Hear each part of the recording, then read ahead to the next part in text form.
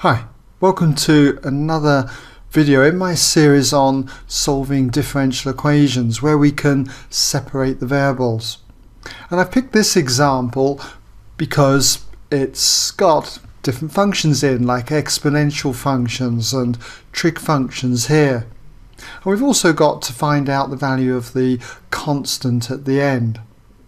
So we've got to solve 1 over x multiplied by dy by dx equals e to the 2x times cos squared y, given that y equals 0 when x equals 1.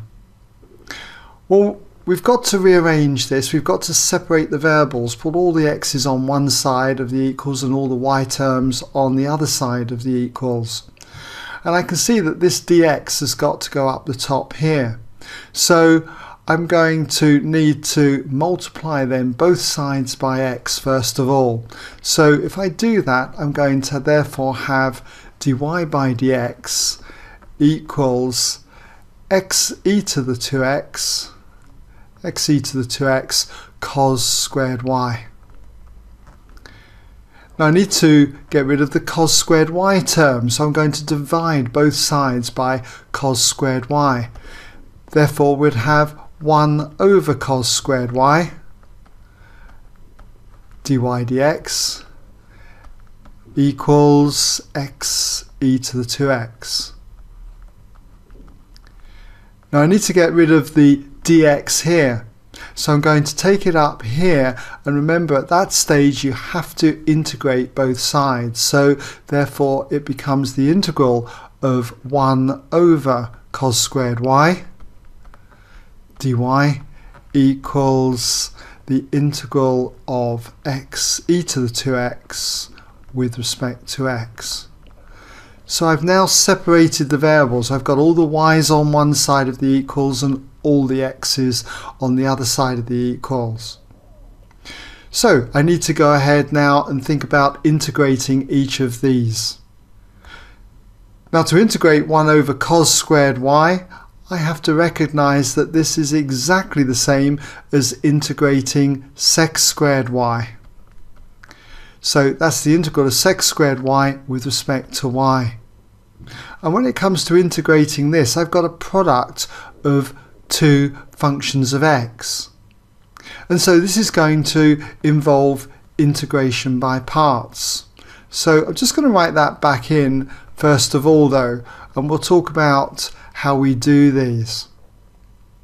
Well, the integral of sec squared y with respect to y, you should know, is tan y. So we'll just write that in as tan y. There'll be a constant as well on this, but as I've said in the earlier tutorials, we only need to put it on one of the sides. I'm going to put it on the right hand side with this integral here. Now I did mention that we did this one by integration by parts, so I'm assuming that you're familiar with integration by parts. If not, you can always check it out on my website. But as a brief reminder, when we've got a product of two functions of x, let's call them u and dv by dx, and we're integrating with respect to x, then this is equal to u times v minus the integral of v du dx with respect to x. And I'm going to take the x as the u and e to the 2x as dv by dx. So, when it comes now to integrating x e to the 2x, it's uv, so it's u, which is x, multiplied by v, v being the integral of e to the 2x, so that's going to be a half e to the 2x.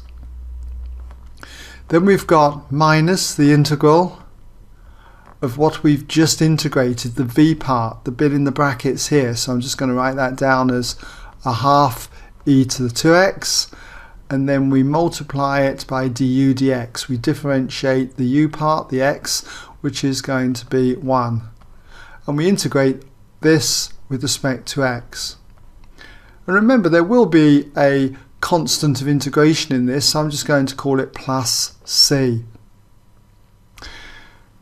Now we need to integrate this, okay? So first of all, we'll just tidy it up. We've got that this equals x over 2 e to the 2x minus, and then for this term here, this is going to be a half times the integral of e to the 2x integrated with respect to x and then we've got that constant of integration plus c.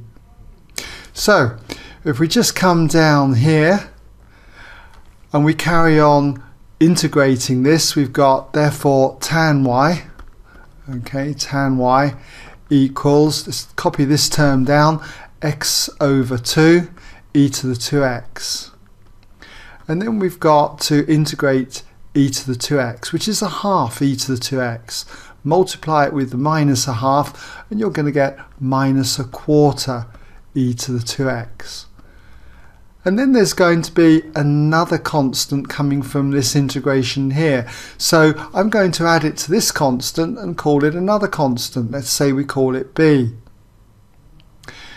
Now we've got to work out what the constant b is. And so I use these initial conditions or boundary conditions as some people call them. Let's just put here that we can say that when x equals 1, y equals 0. And if we substitute this into here, we therefore have the tan of y, which is 0, tan of 0, but just put that in brackets there, equals x over 2, so if x is 1 we've got a half e to the power 2, a half e squared then.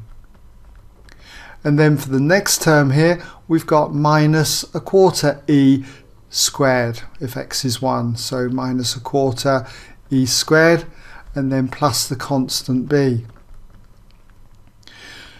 Now the tan of 0 is 0, so we therefore have 0 here equals, and we've got half e squared minus a quarter e squared is going to leave me with a quarter e squared, and then plus the constant b.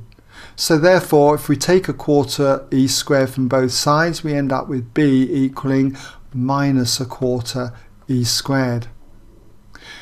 So we can substitute this back into here. Let's just call this 1 okay? So just mark that in as 1 so we can say sub in 1 sub in 1 and if we do that we therefore have the tan of y okay equals x over 2 e to the power 2x then we've got minus a quarter e to the power 2x and then plus the constant b which is minus a quarter e squared. So there's our particular solution. This one up here is called a general solution, remember, when you've just got a constant in. Now we're not asked to give it in any particular form, so I suppose you could leave it like that.